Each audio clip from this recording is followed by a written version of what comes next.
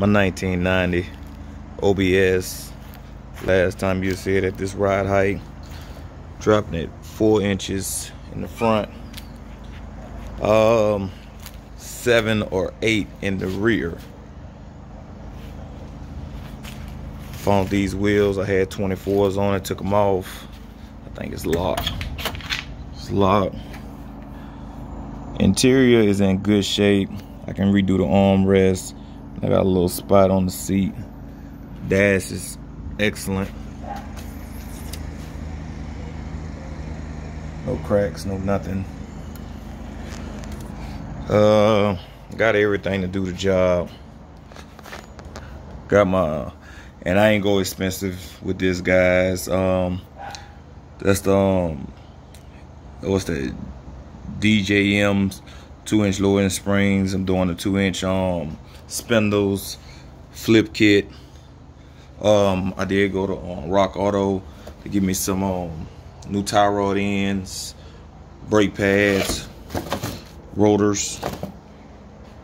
Uh, Mobil One always. Guys, I'm just waiting on my spindles. And this should be the last time you see this guy this high. Guys, when I say I didn't go expensive, guys, majority of all these parts come from um, Facebook Market. Like 40 bucks, 40 or 50 bucks for the um for the springs, about the same for the flip kit. The spindles was a little bit higher. But um, like I said, Rock Auto for the other um, boys guys.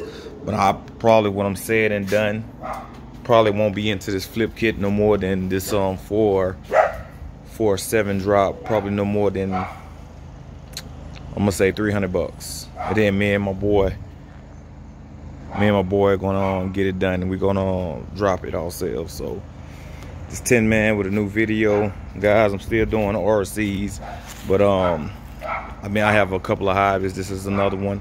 Also hunting, also RCs. I got a few of them, guys. So you'll see more about the trucks. I'm, I'm not out the RC game yet.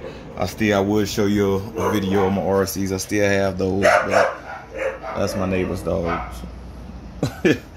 but uh, you'll see some videos of the RCs later, guys. Like I said, this is 1990 OBS step side, guys. That's a cord running to it. I got a Trynka charger on it because I don't drive it like talking about.